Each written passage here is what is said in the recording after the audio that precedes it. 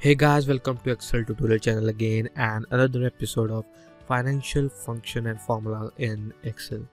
So in this video, we are going to talk about one more important topic in financial sector which is depreciation. So you may have a car with you or any asset you have owned like a furniture or a PC or something like that and each and every asset comes with a depreciation value or depreciated value so we are going to cover that in excel. And excel offers us five types of depreciation functions which we are going to explain as an overview in this video. So you will get to know sln function which is the straight line function. And we are going to cover next is syd which is sum of years digit. And next will be the db which is declining balance. And then the two important and most used function DDB which is double declining balance and VDB which is variable declining balance. So if you haven't subscribed to this channel please do it because we are going to cover each and every aspect of Excel in upcoming days, years or months. So let's get started. So here we have a very basic sheet here which is we have our vehicle cost about 30,000 and we have a residual value 3000 residual value also known as salvage value which is the estimate value of a fixed asset at the end of lease term or useful life. Suppose you have a car here, like here a vehicle cost is 30,000 and minimum value in the end of the life will be 3000 for this particular scenario and a life is 20 so residual value will be or you can say the end term value will be 3000 so we have a years column here which is 1 to 20 and we are going to find different types of uh, depreciation using this particular function which we I have put it in the headers. So let's get started with the first one which is SLN function or you can also say straight line function. It is very straightforward and easy because each year the depreciation value will be the same. Okay.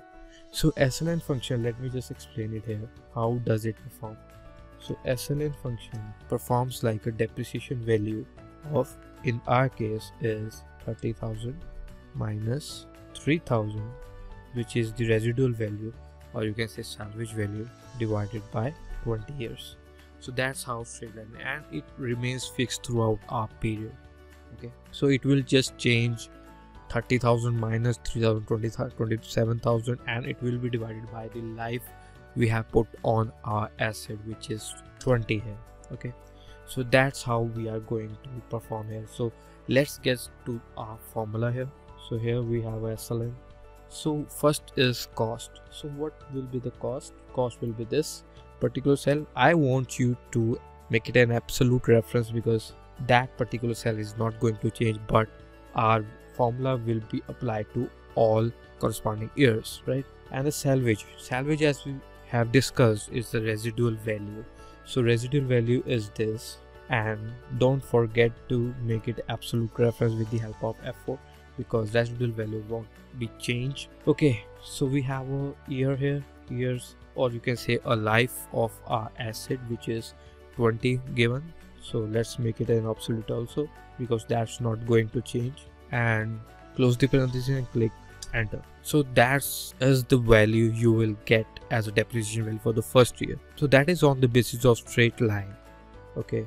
So it will it won't change as the coming years like this.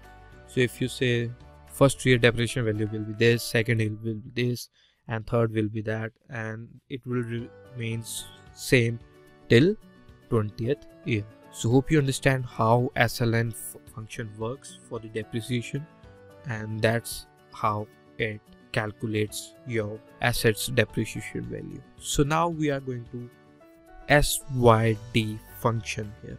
SYD function is sum of years digit which is also very straightforward but let's find out how you calculate in mathematical expression okay?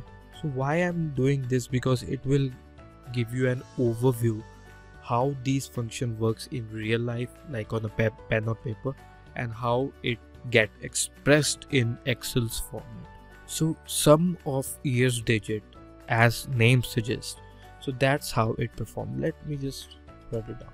So what does sum of years digit mean? So we have a life of 20 years. So this formula just calculate first the sum of those years. Like first year will be this second will be 3 4 to the 20 and whatever the sum will be like in this case let's just say n. I don't want to perform a calculation here but let me just give you whatever the total of this 1 2 3 2 20 will be n okay?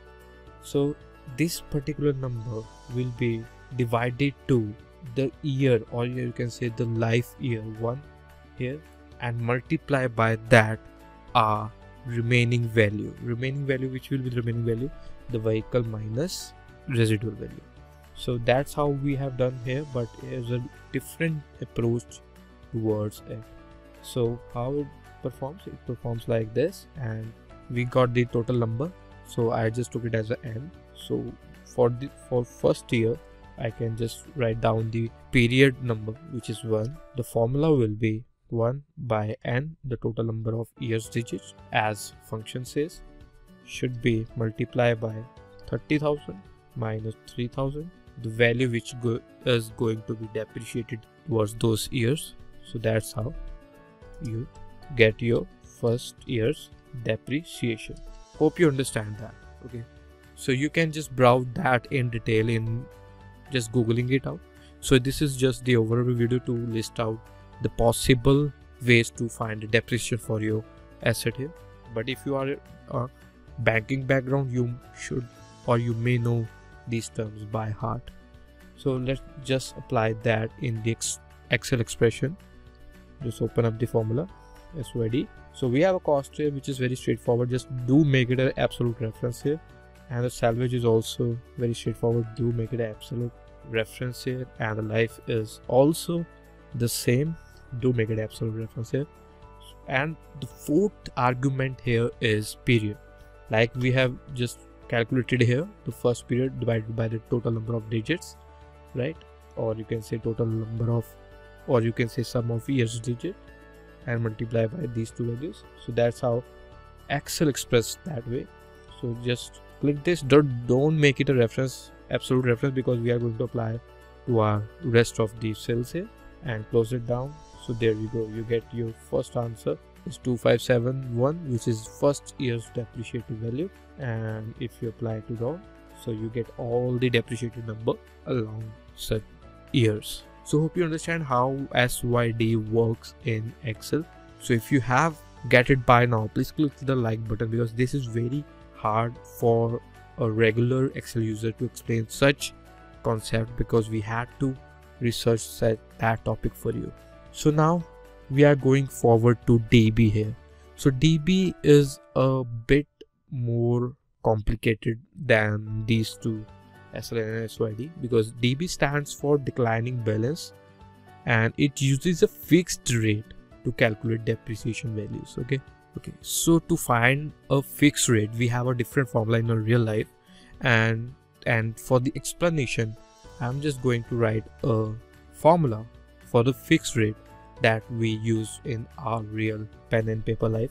So how we find a fixed rate here? Fixed rate is equal to 1 minus residual value divided by cost to the power 1 by life.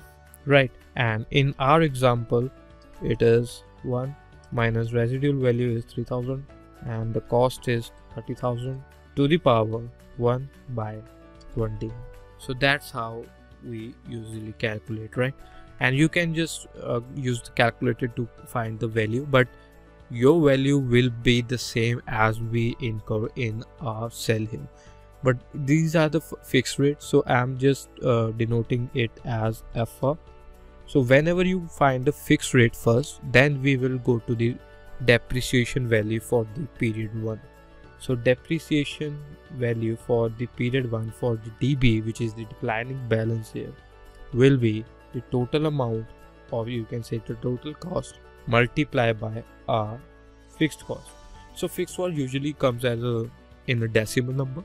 So whatever you answer get by this formula, this formula you have to multiply that by the cost here and for this similarly for the second whatever you answer you get from the first you need to first subtract that from the cost like here and multiply that by fixed rate.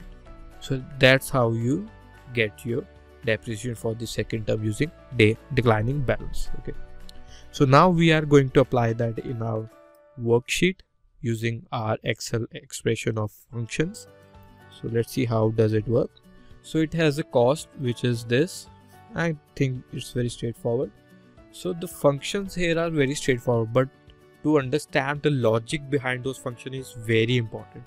That's why i've used this area to describe how does excel perform such calculations. Okay. so salvage here is the residual value.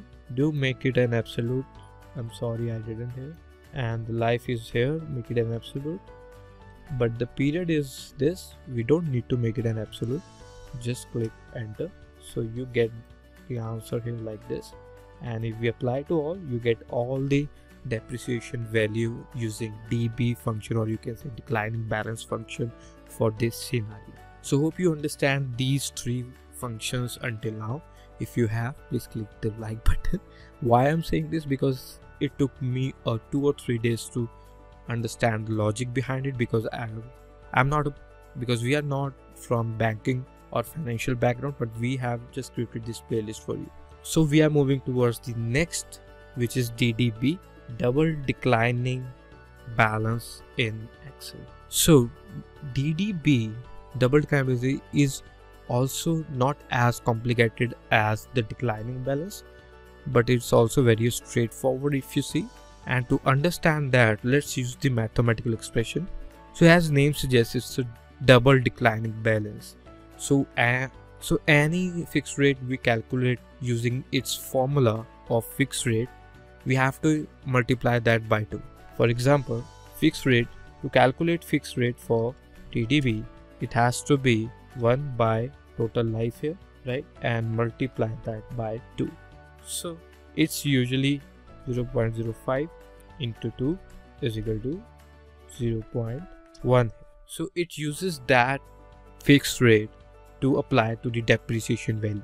So how it calculates the depreciation value? For the first term you just need to multiply this number with the fixed rate which we have calculated here. And for the second you need to subtract whatever the answer you get here and multiply that again same by fixed rate here. It's very similar to db but it's not that complicated like declining balance here so let's just apply that to our excel equations here or you can say expression here. So for the ddb just enter the ddb function here. And for the cost part we have the cost and we have the residual value and the life here. Just make it absolute here and the period will be this. Don't make it an absolute. Just close the parenthesis. So we get first here 3000 and it just declined towards the r 20 years of life. So hope you understand ddb here to calculate your depreciation value in excel. Okay so next formula is vdb to calculate depreciation in your worksheet. So vdb is variable declining balance. It's very similar or it uses ddb function which was double declining balance as we have done in this mathematical equation. So it will be the same not the same but in the vdb the fourth argument indicates the starting period and the fifth argument indicates the end period so the vdb function actually performs the same calculation as ddb function However, it switched to straight line calculation to make sure you reach your residual value or you can say salvage value. So let's get on to its arguments. So I'm not di diving deep into its mathematical expression it uses the same. So to the argument here we have a VDB. So first is cost. Cost here we have a 30,000. So let me just make it an absolute reference so next is salvage which is the residual value so residual value is this let's make it a absolute reference so now it says it says the life so life we know it has 20 term so there you go you should make it absolute reference. So here we have a ending period first and then we have a factor here and then we have a no switch here. So starting period will be this as we can say but our starting period should be from the zero right? The, the time we have invested our amount in our vehicle here. So it should be minus one. So starting will be like that and ending will be this why this? Because for the first term the ending is this but starting will be the previous term which is the zero. So ending will be this year. So for the first term. So that's how you calculate that. So hope you understand why we have included minus one because the starting period will be the zero here for because the day we have invested our amount is our starting period and the ending period will be the one year or one term as you can see so that's how you calculate the starting and the ending period here. So let's just close it down. So here we get the first depreciation value will be this. And if we apply to all here so as you can see here it goes to straight line calculation. Why? Because to meet the residual value as we know we have a residual value of 3000 so until this period until 15 period it's just depreciating at its usual calculation. But after when the depreciation formula calculates that it will go down below 3000 is as its residual value then it goes to the straight curve here. Okay? So that's the difference between the variable declining balance and the double declining balance. So it just go down to the straight line calculation when it just ascertain that the value will go below the residual value of our asset or our investment. Hope you get to know how to use this variable declining balance in for the depreciation of your asset. So hope you have learned from this video the different method or to calculate your depreciation. And if you want to do it uh, in deep or you can say depth i will link certain blogs links in description box so such that you can click on it and just learn it down. Just learn it as deeply as possible such that it will satisfy your work requirement. So if you have learned something from this video even a little bit i know this subject was very complex for regular user but if you are into financial workaround in excel then this video must be useful for you. If it was please click the like button. If you want to subscribe to this channel and want to learn much more about this piece of powerful software then you can click on the subscribe button. And if you want to share this video to your colleague friends or forums then you can click on the share button. So see you in the next video. Until then bye bye